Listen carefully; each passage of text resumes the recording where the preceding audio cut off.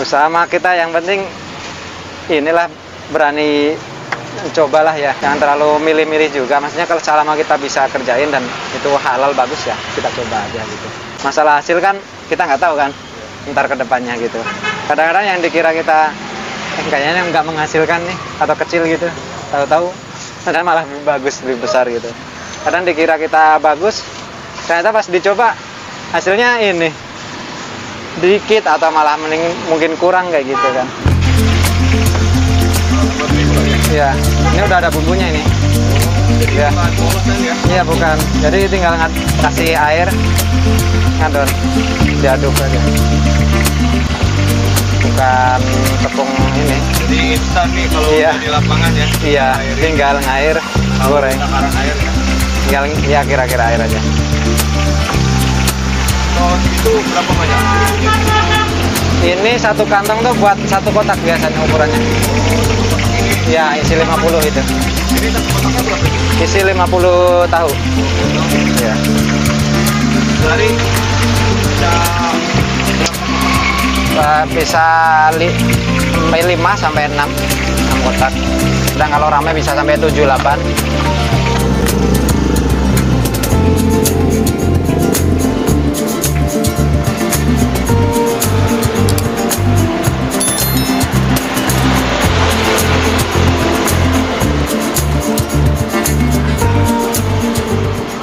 Airnya ini ini takaran encer atau pentol ya? Ya agak inilah agak agak kental. Ada kental. Iya, dikira-kira aja sekiranya eh, udah cukup ya udah.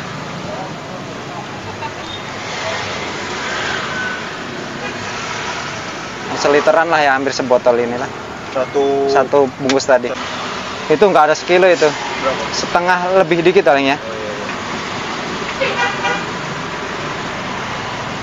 Pakai terigu apa itu? Terigu, tepung terigu biasa.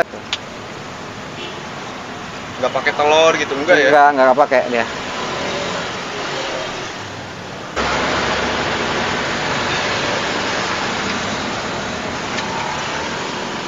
Sampai benar-benar merata ya? Iya, sampai yang Jangan sampai ada yang itu yang gumpal itu gumpal. belum kena air. Makanya. Kalau pakai mesin nyolokinnya nggak ada ya? Iya, ah, biasanya antar sore baru pasang ini. Oh pakai mesin gitu? Oh, ah, bukan pakai mesin, buat lampu doang. Oh buat lampu doang. Iya, kalau Kalau aduk-aduk ngaduk ah, manual aja lah. Ribet kayak mesin, banyakkan alat ntar. Kalau mesin kan gede, wah naro-naro agak repot. Tapi kalau misalkan lagi rame lumayan juga ya. Wah lumayan, Harus berat. cepet. Makanya karena kita udah tahu ini ya keadaan ya, ya mesin, iya. Jadi kira-kira udah sore nih gorekin aja banyak gitu. Habis maghrib kadang-kadang juga. Tahu jam-jam rame. Iya, biasanya. Tapi kadang-kadang juga keteter kalau lagi nggak pas juga.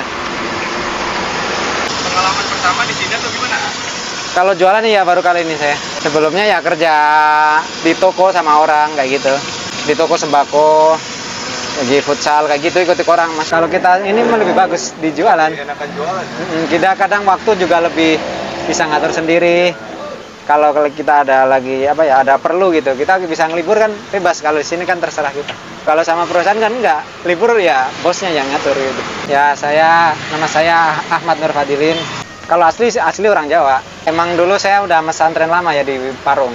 Jadi dulu udah pesantren lama, terus udah lulus berapa bulan di rumah langsung berangkat lagi ke Bogor nyari kerjaan gitu. Ya karena ada teman di sini kan udah lama jadi? 9 9 tahun. Ya apa ya dulu ya ada pengenan ngajar cuman ya jalannya nggak tahu ya kita. Tahu-tahu dapat jalan ke sana ke sini dapatnya seperti ya udah. Keluarga nggak terlalu nuntut mau ke mana-mana yang penting ya kerjanya bagus. Yang penting kan kita akhlak kita inilah nggak nggak yang aneh-aneh gitulah kita masih eh, yang akhlaknya masih ini sopan masih ini ibadahnya masih dijaga lah gitu dulu sebenarnya pengen apa ya lanjut pesantren buat tahfidz gitu Al-Quran cuman ibu saya bilang kalau mondok lagi jangan jauh gitu kan dulu bilangnya kayak gitu. Waktu itu saya rencananya emang masih di daerah Bogor ya karena orang tua mungkin takut. Ya di ini kan dulu pernah sakit itu ya di pondok ya. Ya biasalah anak santri kan takut. Kayak gitu dulu kayak sama kayak dulu sakit parah gitu apa kayak gitu kan jadi pengennya yang dekat biar nengoknya gampang gitu. Soalnya kan perekonomian orang Minang biasa gitu kan. Eh, nggak bisa ne- sering-sering nengok lah kalau jauh lah. Kalau deket kan gampang gitu. Biayanya nggak terlalu gede. Pengennya yang deket dulu. Tapi karena saya ya udahlah kalau pesantren nggak bisa jauh ya mending kerja aja gitu. Kalau orang tua saya mau kerja mau di mana aja nggak apa-apa gitu. Soalnya kalau kerja kan nyari uang sendiri. Dulu waktu itu saya masih di kerja jaga futsal ya di sana. Terus udah setahun pengen inilah pengen berhenti udah bosen kali ya. Pengen nyari kerjaan yang lain gitu. Terus saya cerita ke kakak saya saudara saya yang di Bekasi. Dia nawarin ke saya mau nggak jualan ini tahu pedas punya saya gitu? Soalnya saudara dia udah bosan pengen berhenti adiknya dia ya udah saya ntar saya cobalah saya belum pernah jualan saya bilang kan gitu. Ini udah berapa lama? jadi udah dua tahun lebih. Ya hampir tiga tahun lah. Ntar tak ini Desember ini tiga tahun pak. Ya iya. Lah.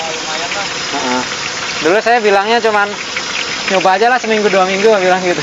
Lumayan. Ah, gitu. Kata dia kalau nyoba jangan seminggu lah tiga bulan empat bulan gitu. Baru kelihatan hasilnya gitu. Ya udah coba aja dulu lah gitu saya bilang coba tahu tahu udah dua tahun nggak kerasa iya Risiko pinggir jalan ini gimana? Jualan pinggir jalan. Iya agak ngeri ya kadang-kadang ada motor pernah jatuh hampir hampir ketabrak Eh, di sini jatuhnya. Untungnya nggak cuma nenggol aja. Tahu-tahu jatuh gitu.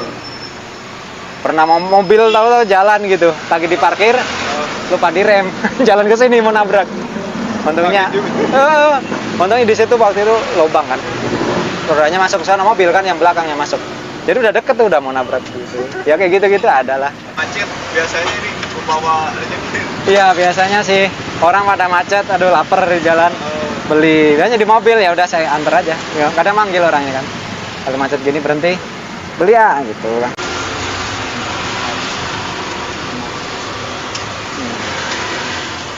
Delapan belas ribu ya? satu lagi. Oh ya. Tujuh.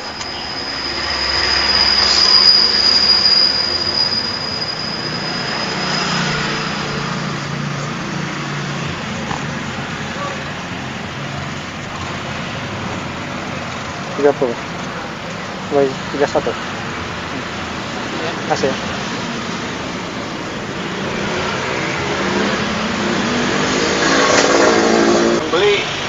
Kalangan ya. Iya, anak-anak juga suka beli. Cuman Maksudnya dari menang ke bawah sampai Oh iya, ini kan gorengan merakyat kan. Siapa aja suka ini mah. Mau yang kaya, mau yang biasa aja. Waktu muda itu sebenarnya kan waktu yang ini ya yang bagus ya buat kita coba coba kita berkreasi atau ber apa ya berusaha apa apa aja lah mau, mau jualan mau uh, usaha mau kerja sama orang ya ter- terserah kan kadang-kadang orang cocoknya beda-beda ya cocok kerja gitu. Dia sukanya kerja ya diatur sama orang juga kita. Ada yang senang-senang aja gitu kan. Ada yang nggak mau diatur sama orang gitu, pengennya dia yang uh, punya sendiri gitu ya. Terserah yang penting kita kan yang bisa kita menghasilkan gitu ya. Kita kerjakan aja gitu. malu-malu saya juga dulu sa- sama ya malu mau kerja. Mau jualan nggak pernah. Apalagi kan orangnya saya agak ini ya nggak terlalu suka Berinteraksi. ya, berani sama orang nggak terlalu ini ya. Lebih banyak diem gitu ya. Jadi gimana itu cara? cara ngelawan ya. Kita harus inilah pikirkan itu.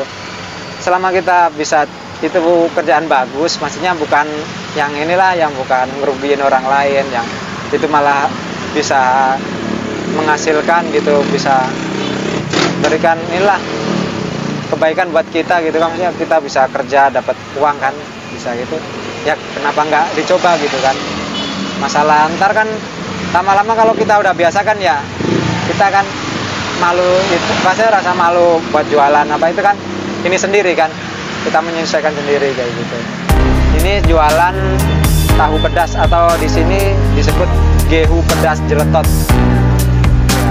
Lokasi Ciampea eh, ini Jalan Warung Borong Jalan Raya Simpang Warung Borong dekat pos ini pos polisi ini ya pos polisi dekat kecamatan juga, kecamatan Ciampea. Bukanya jam 11 siang sampai jam 8 atau jam 9 malam.